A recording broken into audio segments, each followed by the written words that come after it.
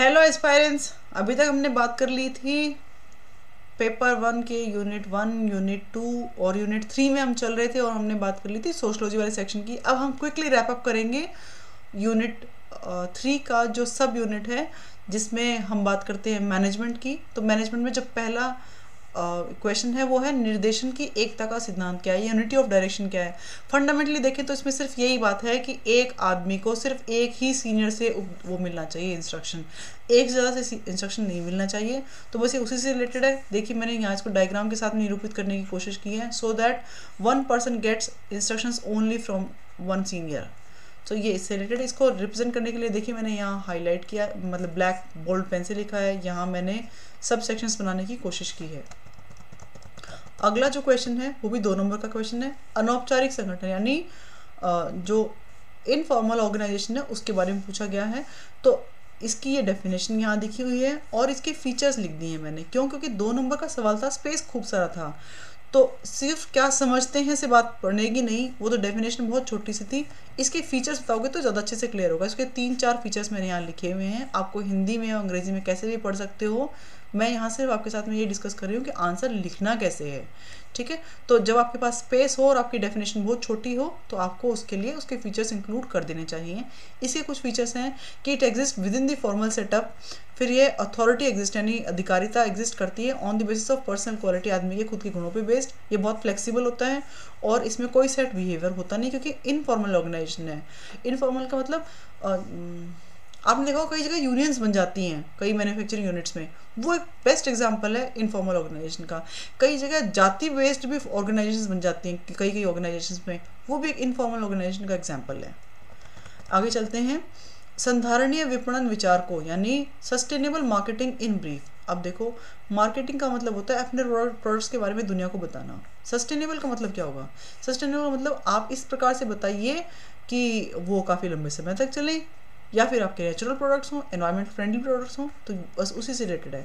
Sustainable marketing is the promotion of environmental and socially responsible products समझ गए आप बात? मतलब आपको कनेक्ट करना पड़ेगा। ये डेफिनेशन किसी भी नोट्स में मेरे पास तो एटलीस्ट नहीं थी। पर ये बात कंफर्म है कि जब सस्टेनेबल वर्ड आता है तो हमें एनवायरनमेंट से कनेक्ट ज़रूर करना पड़ेगा। तो इसका मतलब है environmental and social responsible products को मार्केट करने का मतलब होगा ये। और फिर उसके बारे में कौन कौन से प्रोडक्ट्स आएँगे या कौन कौन से इनकी वैल्यूज़ होंगी, किस प्रकार के ये इनके टाइप्स दिए हुए हैं। ये सवाल दोबारा पूछा नहीं जाएगा, इसलिए इसको डिटेल में ये पढ़ने की ज़रूरत नहीं है क्या क्या लिखना है, ये पढ़ने की ज़रूरत है कि इसको अप्रोच कैसे किया जाए। अगला क्वेश्चन है commercial paper is an instrument for short term finance होता क्या है ये? तो इसके बारे में इसकी डेफिनेशन यहाँ है कि commercial paper is a short term debt instrument यानी उधार लेने का एक इंस्ट्रूमेंट है, और ये इसके फीचर्स हैं। स्पेस अवेलेबल था फीचर्स लिख दिए गए। अगला क्वेश्चन है, संचार में अर्थपूर्ण बाधाओं सीमेंटिक बैरियर्स के बारे में बताइए। सीमेंटिक बैरियर्स कहना कुछ और चाह रहे थे? समझ कुछ और लिया जाए। So it is the misunderstanding मैंने कहा ना कहना कुछ और चाह रहे थे समझ कुछ और लिया जाए। क्यों? क्योंकि आपने ग्रामर की एरर कर दी। And interpretation of meaning which restrict effective communication यानी इफ़ेक्टिव uh, का मतलब अच्छा पर्याप्त whatever effective communication effective संचार के मध्य में वो रुकावट पैदा करता है। किस प्रकार से? जब हम मिसअंडरस्टैंडिंग हो जाए या हम गलत तरीके से इंटरप्रेट कर लें। यानी कहा कुछ और, समझा कुछ और। इसके रीज़न क्या होते हैं? इसके रीजंस में होता है, सबसे पहले तो ये कि जैसे आपने देखा होगा कि उत्तर भारत में और दक्षिण भारत में सेम भाषा को बोलने का तरीका अलग है। तो जैसे एम बोलना हो, हम बोलते हैं नॉर्थ इंडिया में बोलते हैं एम साउथ इंडिया में बोलते हैं यम। यस बोलेंगे वो और हम बोलेंगे यस बहुत सारे शब्दों में डिफरेंस आता है। तो जब डायलेक्ट का डिफरेंस हो, यानी प्रोनाउंसिएशन का डिफरेंस हो तब आगा। जब कल्चरल डिफरेंसेस हो, तब भी सीमेंटिक बैरियर बन जाता है।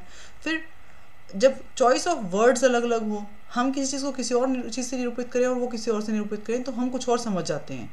क्योंकि कंटेक्चुअल मीनिंग बहुत इंपॉर्टेंट होता है भाषा के अंदर। फिर स्पेलिंग के एरर्स हों, अर्थ का अनर्थ हो जाता है।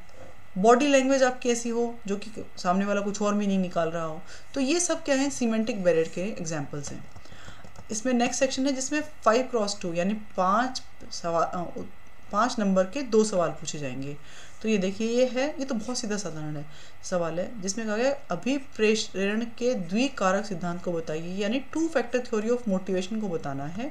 ये हाइजनबर्ग की टू फैक्टर मोटिवेशन थ्योरी जिसमें मोटिवेशनल फैक्टर्स और हाइजीन फैक्टर्स है। यानी ये तो आपको कम से कम मेंटेन करने ही होंगे, और ये मोटिवेशन फैक्टर दोगे तो संस्था आगे बढ़ेगी या लोग जुड़े रहेंगे।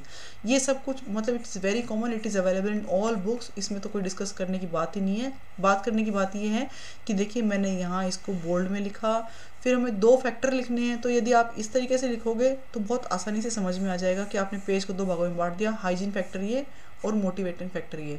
इसका जो ऑल्टरनेटिव मैकेनिज्म होगी, उसमें लोग यहाँ ये लिखेंगे और फिर हाइजीन फैक्टर्स को यहाँ लेकर के आएँगे, जिससे मुझे लगता है थोड़ा कम वर्ष में होगा, समझ में कम आएगा। मुझे ऐसा सबसे अच्छे से समझ में आता है, इसलिए मैंने ऐसे लिखा मैं आपसे रिक्वेस्ट करूँगी कि ऐसे लिख पाओगे तो आपके लिए आसानी होगी। मैं बहुत जल्दी इसलिए बोल रही हूँ, क्योंकि रिकॉर्ड करते करते बहुत टाइम हो गया है। पर कोई बात नहीं, ये it is something to be skipped क्योंकि ये आ गया है। अगला क्वेश्चन जो है इट इज़ रिलेटेड टू संपदा को अधिकतम करने की अवधारणा। अब ये देखिए कॉन्सेप्ट ऑफ़ वेल्थ मैक्सिमाइजेशन इसी नाम से सिलेबस में बुलेट है। ऐसा कैसा लिखा हुआ है? The concept of wealth maximisation तो यानी आपको किसी भी कॉन्सेप्ट को बहुत डिटेल में नहीं पढ़ना है। फौरी तौर पे पढ़ लीजिए तो भी आपका मतलब काम बन जाएगा। कुछ लोग पूछ रहे हैं, कितने डिटेल में पढ़े आ रहे हैं इसके सिलेबस को? तो मैं उसी के हिसाब से आंसर दे रही हूँ, क्योंकि आप पहले प्रश्न देखिए, प्रश्न पूछे कैसे गए? So it is the concept of increasing the value of business hold यानी किसी भी व्यवसाय की संपत्ति को बढ़ाना है। संपत्ति कैसे बढ़ेगी? जब आप सारे स्टेक होल्डर्स जो है ना, उनके धन को बढ़ाएँगे, उनके इंटरेस्ट को ध्यान में रखेंगे तो ये देखिए कि यदि आप फाइनेंशियल डिसीज़न इस प्रकार से लेते हैं कि रिस्क और रिटर्न्स को इवेलुएट करो और लो इन्वेस्टमेंट के डिसीज़न लिक्विडिटी के डिसीज़न फाइनेंसिंग के डिसीज़न और डिविडेंड के डिसीज़न तो आपका पैसा बढ़ जाएगा। इस it is called wealth maximisation अब आगे चलते हैं। अगला क्वेश्चन है डिफाइन एफिशिएंसी ऑडिट ये ऑडिटिंग एंड उसका कंटेंट स्टार्ट हो गया है, जिसमें हम कहते हैं कि एफिशिएंसी कोई चीज़ एफिशिएंट कब होती है? जब हम कहते हैं कम समय या कम लागत। कम समय या कम लागत में हमारे पास में अधिक आउटपुट आए। तो उसको कहते हैं ये चीज़ एफिशिएंट है। तो हम क्या कहेंगे? और it is also known as performance या profitability audit it is a systematic examination of efforts of accomplishment goals efficiently and effectively efficiently और इफेक्टिवली जिसके लिए बनाया गया वो काम हो भी रहा है कि नहीं हो पा रहा है?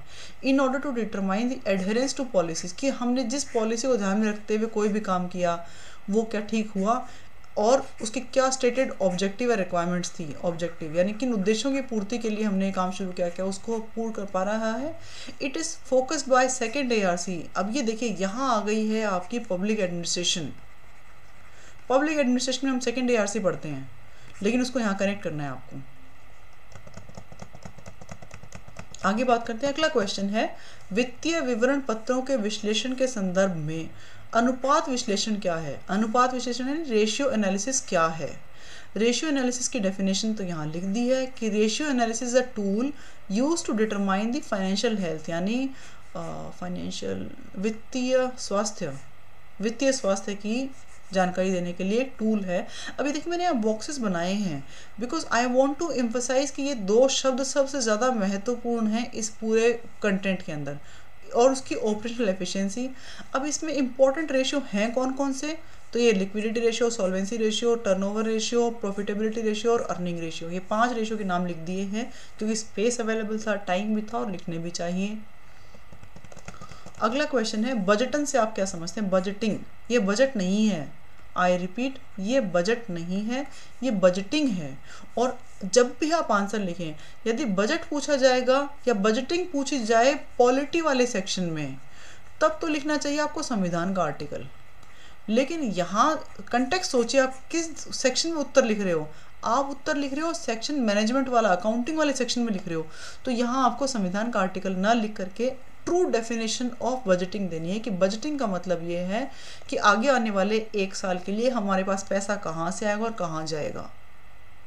ठीक है? So from selling looking into business at an estimated incomes and expenditure over a period of time in future इसके कुछ टाइप्स दिए हुए हैं, ये मैंने यहाँ मेंशन करने की कोशिश की है। सॉरी एक क्वेश्चन स्किप हो गया है। चलिए वापस चलते हैं। सोशल ऑडिट क्या है? सोशल ऑडिट साधारण लेमैन की भाषा में बोलूँ तो ये होगा कि आ, सरकार की तरफ़ से बहुत सारा पैसा बहुत सारी स्कीम्स के लिए आता है। क्या ग्रास रूट लेवल पे वो इम्प्लीमेंट हो पाई कि नहीं हो पाई? ये कौन बताएगा? ये जनता जनार्दन बताएगी साहब। जब जनता ये बताए कि पैसा जिस काम के लिए आया, उस काम में खर्च हुआ कि नहीं हुआ? यानी हमारे लिए स्कीम बनी थी, हमारे लिए स्कीम बनी थी हमारे गाँव में रोड पहुँचेगी पहुँचेगी नहीं पहुँची? सामुदायिक विकास केंद्र बनने के लिए पैसा आया था, आया कि नहीं आया? तो यानी जिस जिस दिन इस प्रकार की ऑडिटिंग होने लग जाएगी, जब जनता बोलेगी, उसको बोलते हैं सोशल ऑडिटिंग तो ये क्या है? Social audit is a way of measuring understanding and reporting and ultimately improving किसको? एन ऑर्गेनाइजेशन और सोशल और एथिकल परफॉर्मेंस एथिकल इसलिए जिस काम के लिए पैसा आया उसमें लगा कि नहीं। सोशल इसलिए कि सोसाइटी को ध्यान में रखते हुए काम करना है। अब गवर्नमेंट ने क्या किया? गवर्नमेंट यूजेज सोशल ऑडिट किस काम के लिए? चेक करना रहता है कि आउटरीच ऑफ़ स्कीम कितनी है स्ट्रेंथन करना है कि नहीं। अच्छा ग्राम सभाओं में ये सोशल ऑडिट की जाती है। तो ग्राम सभाओं की ताकत बढ़ती थी जब वहाँ सोशल ऑडिट होती है तो। और इनफैक्ट उनकी अकाउंटेबिलिटी भी बढ़ती है। तो ये सब इससे रिलेटेड कंटेंट है जिनको आप लेटर पढ़ भी सकते हो मैं पी के साथ शेयर भी कर लूँगी। इसी कंटेक्स्ट में नेक्स्ट क्वेश्चन है, कोष प्रवाह, यानी फंड का फ्लो एनालिसिस करने की टेक्निक क्या है? फंड का फ्लो एनालिसिस मतलब होता है, पैसा कहाँ आया और कहाँ गया। पैसे का डाइवर्जन किन किन डायरेक्शंस में हुआ, वो फंड फ्लो एनालिसिस है बेसिकली तो उसका it analysis a company's balance sheet of two years to validate the movement of funds दो सालों की, इसमें कीवर्ड्स क्या है? दो साल movement of fund balance sheet को यानी तीन कीवर्ड याद रख लो। बैलेंस शीट दो सालों के लिए चेक करना किस प्रकार से फंड कहाँ गया।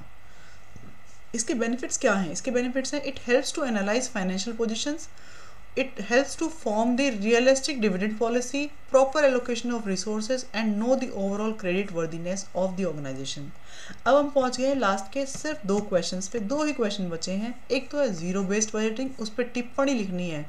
टिप्पणी का मतलब होता है आपको पॉजिटिव नेगेटिव दोनों बताने होंगे। तो इसके एडवांटेजेस यहाँ हैं डिसएडवांटेजेस यहाँ हैं। बहुत सीधा स्ट्रेट फॉरवर्ड क्वेश्चन है। हमारे सिलेबस का हिस्सा है ज़ीरो बेस्ड बजटिंग और इनफैक्ट सबसे ज़्यादा पूछे जाने वाला है ज़ीरो बेस्ड बजटिंग जो पहली बार पढ़ रहे हैं, उनको ऐसे बता देती हूँ कि होता क्या है। मान लीजिए किसी स्कीम के लिए पैसा आया। उसने कितना परफॉर्म किया, नहीं किया आउटकम क्या रहे, कितना परसेंट पैसा उसमें से खर्च हुआ, नहीं हुआ। यदि वो सोशल इम्पैक्ट डालने वाली स्कीम है तो उसके लिए अगले साल पुराने वाले बजट को ज़ीरो कर दो और फ्रेश शुरुआत करके नया बजट बनाओ। This is called zero base budgeting ये इसके एडवांटेजेस और डिसएडवांटेजेस यहाँ मैंशनड हैं। आप पढ़ सकते हैं पॉज करके पढ़ सकते हैं। नो इश्यूज़ एट ऑल ये मुझे क्या है, हिंदी में पढ़ने में थोड़ा सा ट्रांसलेट करने में थोड़ी सी समस्या होगी, कृपया माफ़ कीजिए। लेकिन ये कंटेंट सारा सारी बुक्स में अवेलेबल है। मैं तो सिर्फ़ आपको ये बताना चाह रही हूँ कि उत्तर लिखते कैसे हैं? सब, अब ये इस पेपर का आखिरी क्वेश्चन है, जिसमें लिखा हुआ है कि ऑपरेटिंग साइकिल कॉन्सेप्ट बताइए वर्किंग कैपिटल का। वर्किंग कैपिटल का मतलब होता है कार्यशील पूंजी, यानी किसी बिज़नेस को शुरुआत करने के लिए जो आपके पास में बिज़नेस आपने बना लिया बिल्डिंग बना ली, लोगों को काम पे रख लिया, लेकिन लोगों को हर रोज़ दी जाने वाली सैलरी और रॉ मटेरियल के लिए जो काम में आने वाला पैसा है, उसको हम बोलते हैं वर्किंग कैपिटल उसका एक ऑपरेशन साइकिल होता है। भाई, जैसे मान लीजिए ऊनी कपड़े बनाने वाली कंपनी है। तो वो क्या करेगी? पूरे साल तो उसका सामान बिकेगा नहीं ना। तो यानी उसके ऑपरेशन साइकिल अलग होगा उसमें टाइम अलग लगेगा, जबकि एफएमसीजी के प्रोडक्ट बनाने वाली कंपनी में सामान आता रहेगा, सामान बिकता रहेगा, नया माल भी आता रहेगा, बिकता रहेगा, वो almost throughout the year चलता रहता है। तो यानी बहुत सारी चीज़ों पे डिपेंड करता है कि आपका ऑपरेशन साइकिल है क्या। ऑपरेशन साइकिल कहते किसको हैं? जब हम कहते हैं कि हमारे पास में कैश है, उससे हमने रॉ मटेरियल खरीदा, फिर वर्क इन प्रोग्रेस हुआ, फिर फिनिश गुड बनाया, उसको हमने सेल किया और उससे हमारे पास में रिसीवेबल यानी पैसा आया पैसा आया तो फिर से कैश आ गया। तो इसको बोलते हैं operational work cycle operating cycle का ऑफ़ वर्किंग कैपिटल अब इसके बारे में थ्योरी सारी यहाँ लिखी हुई है। और इसके डिटर्मिनेंट्स क्या हैं? किस चीज़ों पे निर्भर करता है? क्यों? क्योंकि हमने सिर्फ़ ये नहीं पूछा कि कॉन्सेप्ट क्या है। कॉन्सेप्ट तो आपने तीन लाइनों में बता दिया। पाँच लाइनों का क्वेश्चन है, यानी पाँच नंबर का क्वेश्चन है। तो इसके लिए आपको इसके डिटर्मिनेंट्स भी बताने चाहिए किन किन चीज़ों पे ये परिचालन चक्र जो है वो निर्भर करता है। तो ये मैंने नौ दस पॉइंट यहाँ लिखे हैं। और इसी के साथ पेपर वन कंप्लीट हो गया है।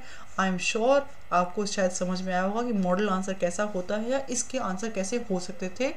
आप अपनी प्लीज़ इसको पीडीएफ को डाउनलोड कीजिएगा, जो R S K R P C की वेबसाइट पे अवेलेबल है, और ज़रूर लिखने की कोशिश कीजिएगा। आप इससे रेफरेंस भी ले सकते हैं। Thank you so much have a good day